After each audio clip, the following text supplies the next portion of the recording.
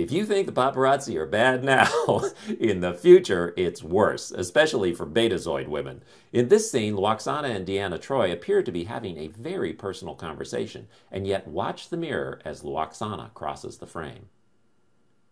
Okay, that's a boom mic. That's a boom mic. The only thing I can figure is that there's some member of the paparazzi. He is inside Deanna Troi's personal quarters and he is recording the entire conversation. Nit Central.